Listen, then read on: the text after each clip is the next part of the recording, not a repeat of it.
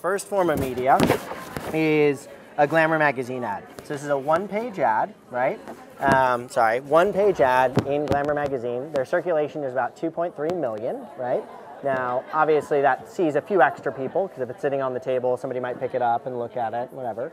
Um, but it is an ad. There's a lot of ads, right? And so, you know, and if you think about how you kind of scroll through a magazine, you don't necessarily see all of them, right? So this is kind of one form of media, right? So second form of media is a YouTube video, right? So you've probably heard this one before. But this is a YouTube video. It's from a girl named, um, God, why can't I think of her name? Bethany Mota. Um, it was, so it's about a company, NYX Cosmetics, right? So in this video, she goes on to kind of talk about how she's doing backflips because NYX is now carried in Target. She goes on to rave about two of their different products. It is earned media, meaning you know they, it is kind of authentic. There's no advertising kind of to it, right? And it got about 1.9 million views as compared to like 2.3 million. And we know that people kind of saw it, right? And they opted in, so they chose to see it. Now, obviously, there's gonna be some repeats. A couple people have seen it, right? Um, but that's kind of the second form of media. And it's interactive, they get to see it used, all those kinds of things, right? But the reason I show that and the reason I talk about that is when you talk about price tags surrounding these options, so Glamour magazine as a price, right? The price tag on a one-page ad is about a quarter million dollars. Now, obviously, the print industry is hurting, so you're going to pay about 100k, right? Um, kind of with a hint, hint, nudge, nudge editorial coverage. It might be even a little bit less than that, right? Um, but it is paid media. We don't really know, kind of, it's probably not going to convince somebody to buy something, right? Versus this is somebody giving kind of an authentic, organic recommendation um, they actually didn't pay a dollar to have it created, right? And the reason I show that video is that's the video that NYX used during their investment presentations to L'Oreal and to kind of the other investment firms. And when they showed it to L'Oreal, L'Oreal went, oh my God, you know, how much did you pay her? And they said, first of all, we didn't pay her. Second of all, we didn't even know she was going to do it. Third of all, it got close to 2 million different kind of people engaging with that content, right?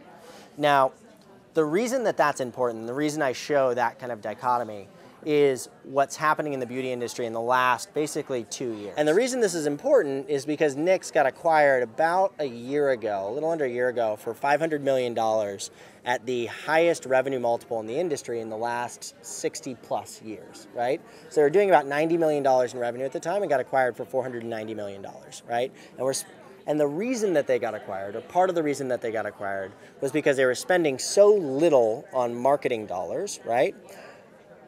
They had never bought a print ad, never bought a TV ad, never paid someone to create content, but they worked with about 700 different people like Bethany Mota, primarily through the use of product in order to get increased exposure. So I would say that's why kind of a lot of people have started paying attention to this form of media and have really started investing in kind of these options, right?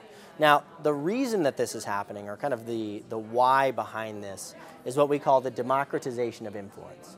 So what that means is the amount of people creating content has grown exponentially in the last kind of 10 years or so.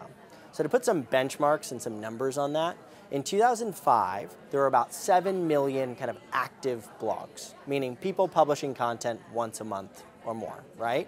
It's about 7 million in 2005. Between 2005 and 2010, it went from about 7 million to about 225 million, right? And then from 2010 to 2013, so in three years, it went from 225 million to about 1.4 billion, right? Now, just to be clear about what I'm talking about there, that's not to say that there are 1.4 billion Bethany Motas out there, right? But what that's saying is Bethany Mota could have a Facebook and a YouTube and a Pinterest and an Instagram and a Vine and a blog, etc. right? So there's all individual profiles.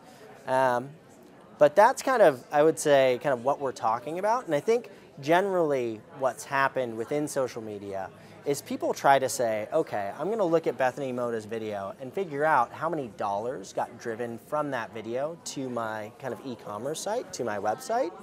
But the reality is that that's not the way that people purchase products, right? The likelihood that somebody watches that video and then immediately goes to nyxcosmetics.com and buys that product is really, really low, right? But the likelihood that they go to an Ulta and they kind of look at, they're comparing a few different products and they're looking at NYX Cosmetics versus kind of, say it's like Maybelline or some other product, they go, oh yeah, I remember kind of watching somebody that I trust saying that NYX Cosmetics was an awesome brand and that I should really try out their products, that can change their purchase decision in store.